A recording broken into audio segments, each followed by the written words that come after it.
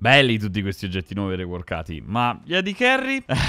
E i carry sono spesso una delle voci più forti e rancorose nei confronti del game sullo stato di bilanciamento della classe per intero. Nella community c'è questo riconoscimento e celebrazione del ruolo della D carry come uno dei più importanti del gioco all'interno di ogni singola partita. Il fatto è che, per quanto si ritenga importante il ruolo degli AD carry all'interno di una partita, è una classe che, soprattutto in solo queue, è limitata e condannata per qualsiasi giocatore normale. Per colpa di chi? I pro player, naturalmente. Il problema di bilanciare questa classe è dettato dettato dall'immensa capacità meccanica di giocatori di più alto livello che riescono a sfruttare il punto forte degli AD Carry, cioè la gittata massimizzandone l'efficacia, al punto che i campioni e gli oggetti sono bilanciati attorno alla massima espressione di gioco di questa categoria. Qualcuno potrebbe dire, ma come non è così per ogni singolo campione e oggetto? Naturalmente è così per ogni sfaccentatore di League of Legends, cioè, questo è ciò che lo rende competitivo. Ma gli AD Carry sono un ruolo che richiede lo sfruttamento massimo di meccaniche come positioning e kiting. Questo non significa semplicemente conoscerle e sfruttarle ad un livello sufficiente. Devi saperle sfruttare al 100%, in ogni momento momento e rimanere concentrato. Non c'è un momento di pausa. Gli AD Carry sacrificano molte delle chance che hanno altri campioni e dei poteri che hanno altri campioni per poter sfruttare il vantaggio della gittata e il massimo danno che possono esprimere considerato il DPS che scaricano. Questo ovviamente rende il ruolo estremamente frustrante per la stragrande maggioranza di giocatori che si sentono in balia degli eventi dato che non tutti sono Guma Yushi o Ruler. Prima di cominciare a parlare degli oggetti, vi ricordo ancora una volta gli oggetti mitici non esistono più. Ciò significa che alcuni oggetti mitici sono stati rimossi e altri invece sono stati resi dei normali oggetti leggendari. Gli AD Carry vedono due oggetti rimossi, la tempesta impetuosa o Gale Force e il pugnale dell'ira o Rage Knife. Partiamo dal grosso singolo oggetto di cui vi ho parlato anche nel video degli oggetti da fighter, il Terminus. Costa 3000 gold, ti dà AD e attack speed, chiaramente un oggetto mirato a campioni che sfruttano attack speed e AD che purtroppo per gli AD Carry coincide sia con i fighter come Jax e Irelia, sia con gli AD Carry che vogliono auto attaccare tanto. Ha due passive. La prima applica danni magici sul colpo, semplice e immediata. Sono 30 danni in più per autoattacco. La seconda è un pelino più complessa. Ogni autoattacco tiri un colpo diverso, una volta di luce e una volta di oscurità.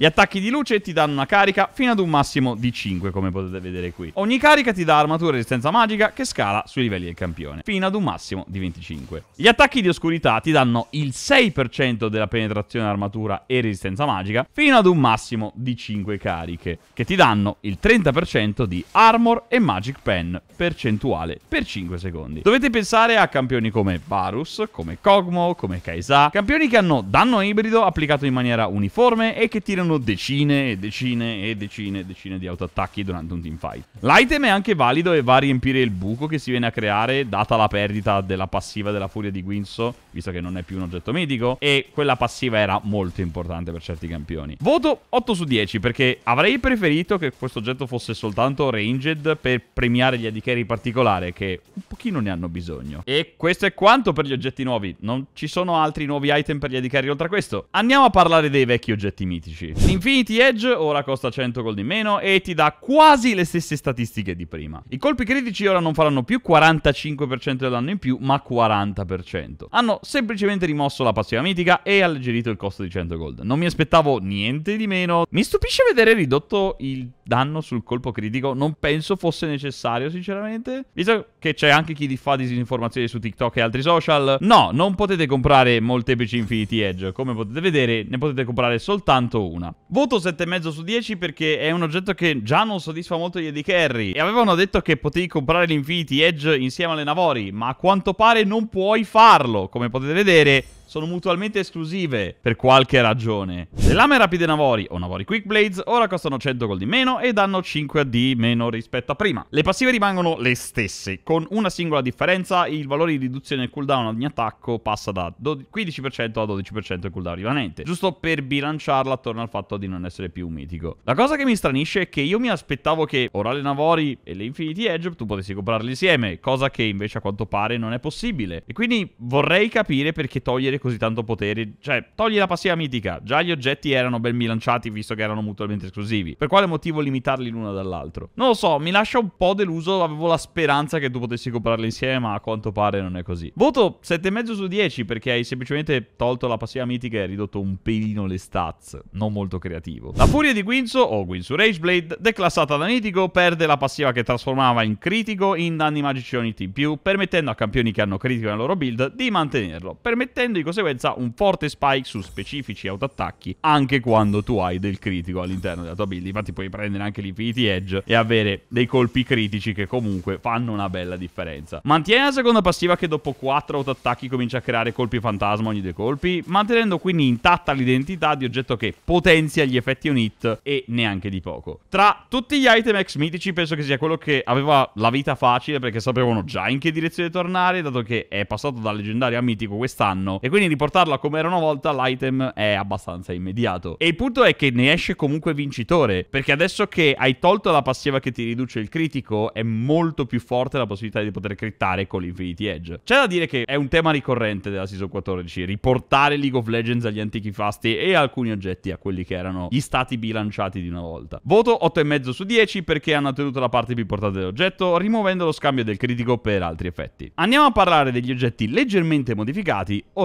reworkati. Il Kraken Slayer è sempre rimasto un oggetto estremamente valido nonostante essere stato declassato a oggetto leggendario e questa Season 14 lo aiuta ancora di più. Gli aumentano l'attack speed del 5% e l'effetto passivo è più forte di prima, ma di molto. I valori di danno sono uguali a prima, ma non scala più dipendentemente dal numero di autoattacchi che hai tirato sul bersaglio, ma su quanta vita gli manca. Questo vuol dire che il terzo colpo fa più male su chi è più basso in salute. Questo aiuta tantissimo gli AD a risultare molto più di impatto, dando anche una soddisfazione maggiore quando riesce a scaricare tanto danno su un singolo bersaglio. Davvero, tanta roba. Voto 9,5 su 10 perché già era un oggetto ben bilanciato e sono riusciti a dargli la spintarella per renderlo dannatamente figo e soddisfacente da usare correttamente. Angelo Custode o Guardian Angel che adesso costa 3200 gold, quindi 100 gold in più, ma va a dare maggiori statistiche con un aumento della D e dell'armatura e un cambio fondamentale della formula. Dato che non esiste più il cronografo, gloria nei cieli, ora l'oggetto viene costruito con una BF Sword, un MC Spada e un sigillo d'acciaio, uno Steel Sigil, un oggetto intermedio che ti dà AD e armatura. La passiva di risurrezione è rimasta praticamente invariata, anche se ora ti rigenera il 100% di mana massima e non più il 30% e basta. Una modifica che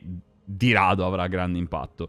Voto 8 su 10. Il danzatore fantasma o Phantom Dancer è rimasto quasi invariato. Le statistiche sono le stesse, tranne per una leggera riduzione di velocità d'attacco e un aumento della velocità di movimento bonus al 10% da 7% che era. La passiva però ora ti dà una cosa diversa, ti dà velocità d'attacco per ogni singola carica e non più velocità di movimento bonus, dandoti un massimo di 5 cariche. Quindi 35% di velocità d'attacco bonus quando hai le cariche al massimo. Comprendo che si vuole accentuare la debolezza degli carry di non essere così mobili e molti degli oggetti nel gioco hanno mobilità ridotta in totale, sia movement speed o scatti direttamente. Tuttavia, già l'oggetto veniva non dico ignorato, ma quasi in favore di altri. Con questa modifica ho il timore che questo effetto si accentuerà ancora di più e diventerà relegato a non essere costruito mai. Voto 7 su 10. Mal pensato, soprattutto per quella che è la situazione attuale. I saluti Lord Dominic ti danno più 5 AD rispetto a prima, ma vedono la passiva leggermente nerfata. Il danno massimo percentuale aggiuntivo viene ridotto a 15% danno bonus quando c'è un divario di 2000 HP tra la tua vita massima e quella del tuo avversario, e non più 22%. Sincero, mi stupisce vedere anche questo nerf dopo l'Infinity Edge, dato che c'è la riduzione del danno critico di Infinity Edge, non puoi costruirlo insieme alla Navori. Cioè, la specialità di AD Carry è quella di fare danno ai tank e ultimamente li scioglievano, ok? Con disarmante facilità, va bene, però non mi aspettavo di un aiuto di questo livello. Voto 7 su 10 perché non c'era motivo di farlo per 5 di AD. L'arco scudo immortale o Immortal Shieldbow non vede grandi cambiamenti. Statisticamente riceve un 2% di lifesteal in più, il rubavita, e un potenziamento dello scudo di 30 HP fin dal primo livello. Non un aiuto gigantesco, ma comunque lo rende più attraente per tutti gli AD carry che magari non lo sceglievano più così spesso. Voto 8 su 10. L'archibugia ripetizione o Rapid Fire Cannon riceve 5% di attack speed in più, il resto è letteralmente variato. Voto 8 su 10, perché potevano fare qualcosa, dai. La Static Shiv o pugnale di Static vede la rimozione dello scaling HP in maniera definitiva, il danno base rimane invariato e il numero di bersagli che puoi colpire sembra essersi limitato a 6 e basta. Nonostante ci sia l'indicatore o meno che sale con i livelli del campione, ho già testato anche direttamente. Uno può salire fino a livello 18 e non fa la benché minima differenza. Rimangono 6 bersagli.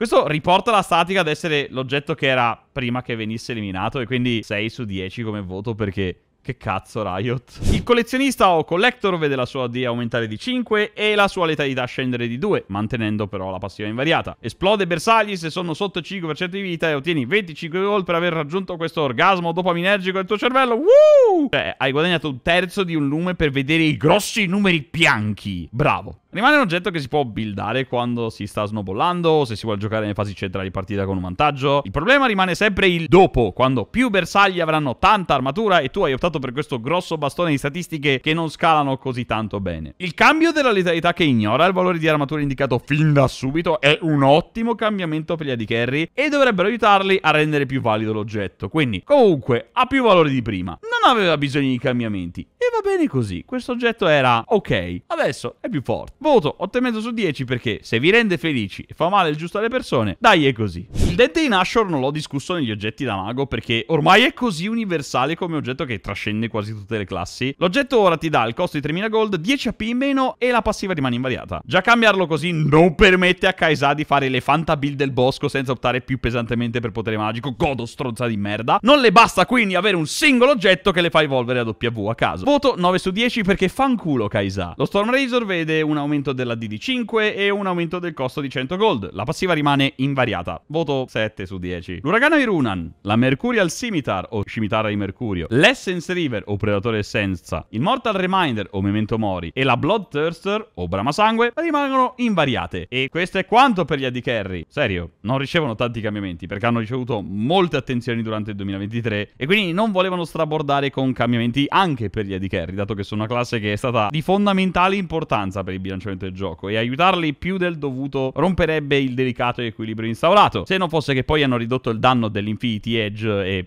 i saluti Lord Dominic e quindi sono molto confuso. Ho la sensazione che sentirò molte più proteste da questa classe di giocatori, proprio perché a primo impatto sembra che non abbiano fatto niente per gli AD Carry, nonostante molti degli oggetti iniziali da support sono stati modificati in modo da facilitare la vita degli AD Carry e che non è un potere facilmente apprezzabile finché non lo vedi in campo e di conseguenza sembrano la categoria lasciata e abbandonata al suo triste destino. Sono curioso di vedere come i giocatori si abitueranno alle nuove fasi di corsia, su sulla mappa nuova che andremo ad analizzare in maniera più approfondita nei prossimi giorni. E signore e signori, questo è quanto per questo video e noi ci vediamo al prossimo.